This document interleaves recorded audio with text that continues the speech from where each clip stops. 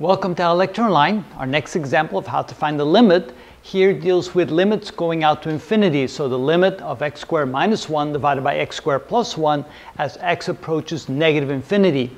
What you do with those is you want to rewrite those and what you do is you find the largest exponent x squared so therefore you're going to divide both the numerator and the denominator by 1 over x squared. So we go 1 over x squared for the numerator and 1 over x squared for the denominator. So when we multiply, we're essentially dividing by x squared.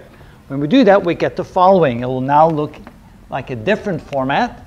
So we have this is equal to the limit as x approaches negative infinity. Now by doing this, notice what happens now. x squared divided by x squared is 1 minus 1 over x squared divided by, again, x squared divided by x squared is 1 plus 1 over x squared.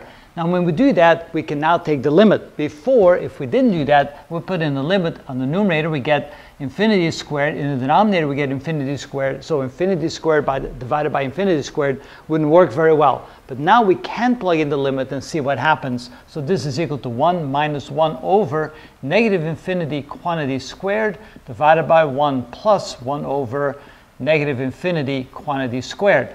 So when we square that, we get, in essence, infinity squared is still infinity, so we get 1 minus 1 over infinity divided by 1 plus 1 over infinity. And of course, any number divided by infinity, no matter how large the numerator is, when you divide by infinity, you get 0. So therefore, this is equal to 1 minus 0 over 1 plus 0. So essentially, this is equal to 1.